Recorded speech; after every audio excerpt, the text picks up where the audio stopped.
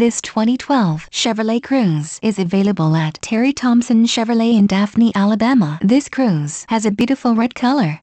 Features include power windows, power door locks, tilt wheel, and much more. Visit AutobookNow.com for more details.